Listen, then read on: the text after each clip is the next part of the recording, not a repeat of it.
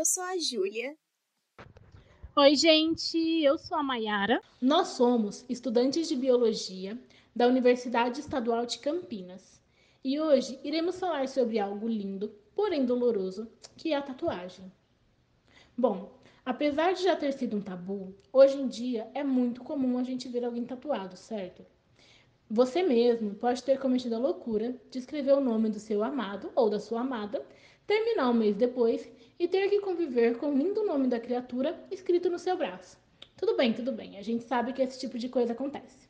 Mas enfim, mesmo parecendo ser uma modinha, a tatuagem é uma prática muito antiga, que ultrapassa culturas e períodos históricos. Para você ter uma ideia, várias múmias encontradas pelo mundo apresentam provas de que possuíram tatuagem, como é o caso de duas múmias egípcias que hoje são habitantes do Museu Britânico, no Reino Unido, que têm mais de 5 mil anos de idade. Ok, agora você sabe que existiram alguns egípcios tatuadões, beleza? Mas o que é a tatuagem propriamente dita?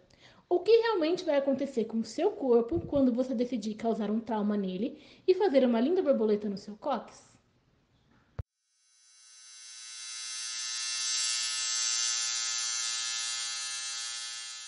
Então, a tatuagem, assim como qualquer outro corte, é um machucado, mesmo que sendo feito de forma intencional. E por isso, o corpo passa por vários processos para cicatrizar o local e expelir a tinta que foi colocada ali. Antes da gente entender mais sobre esses processos, primeiro precisamos falar sobre a pele e a sua constituição.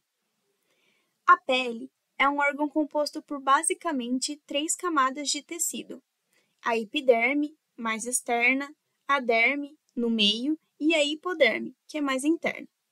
Além desses tecidos, também existem vasos sanguíneos, terminações nervosas, células de outros sistemas, pelos e etc.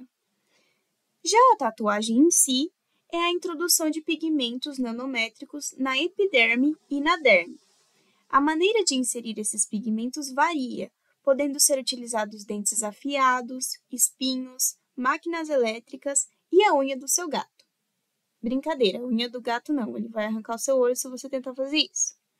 Mas enfim, as tintas usadas são feitas por pigmentos inorgânicos ou orgânicos, aditivos, como polímeros e outras substâncias, como a água e glicerina. Isso tudo vai depender do fabricante. Bom, como já dito, a tinta é depositada na derme, ou seja, em uma parte mais profunda da pele, e isso explica o porquê da tatuagem doer pra caramba. O fato da tinta ficar depositada na derme também explica por que a tatu não some, mesmo com as células da epiderme sendo trocadas constantemente. A partir do momento que a agulha penetra a pele, ocorre a ruptura da base epidérmica e o corpo começa o processo anti-inflamatório. Logo após duas horas, mais ou menos, as células do sistema imunológico migram para onde a tatuagem está. As principais células do sistema imune que vão participar de todo esse processo são os macrófagos, cuja principal função é comer partículas e restos celulares que não devem ficar no corpo. Eles são tipo Pac-Mans biológicos. Após 24 horas, podem ser observados agregados dos pigmentos em macrófagos e em outras células, como os fibroblastos e queratinócitos. Como essas células são transparentes, dá para ver bem os pigmentos que estão dentro delas. Algumas partículas de pigmentos também ficam suspensas em uma matriz gelatinosa fora das células, a chamada matriz extracelular. Parte dos macrófagos com o pigmento vão para os linfonodos, com o objetivo de eliminar essas partículas, enquanto a outra parte continua na derme mesmo. Os macrófagos da derme não conseguem destruir a tinta e apenas armazenam ela. Após a morte desses macrófagos com pigmentos, outros macrófagos novos os engolem junto com a tinta da tatuagem e também ficam coloridos. Além dos macrófagos, os fibroblastos, células que participam da cicatrização da pele, também possuem os pigmentos. Com o tempo, o organismo quebra os pigmentos em pedaços menores para serem levados até os linfonodos e destruídos. Por isso, a tatuagem fica desbotada com o tempo igual uma calça jeans que foi lavada muitas vezes. Mesmo desbotando, a maioria dos pigmentos permanece no tecido, já que a derme é muito estável. Então pense muito bem antes de desenhar a cara de um jogador de futebol na panturrilha, porque não vai sair fácil. É, basicamente é assim que a tatuagem atua no organismo.